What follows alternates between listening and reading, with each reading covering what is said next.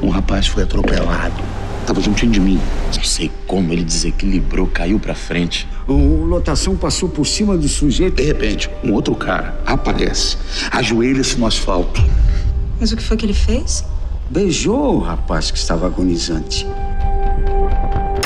Há quanto tempo que você conheceu o cara? Que cara? O morto. Não conhecia. Que piada é essa, mano? Arandir me diria, papai. Digamos que seu marido não seja exatamente como você pensa. O jornal diz.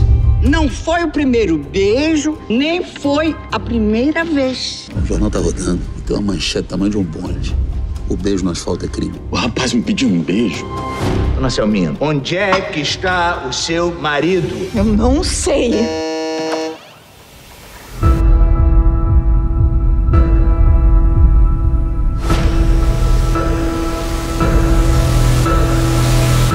Toda a minha vida, a única coisa que se salva é o beijo no asfalto.